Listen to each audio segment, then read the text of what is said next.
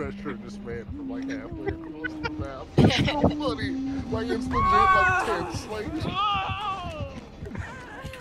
like he's not playing when he's like when he's like, Husky, please, like this shit did look scary. it was. I know she's really good at her hatchet, so I gotta be like extra careful. Okay, we should rewind go, Mr. Byers.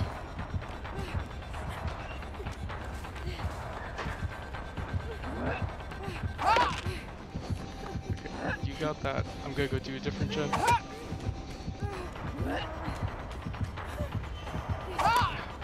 I can't believe how much I have to keep my fucking eye on her.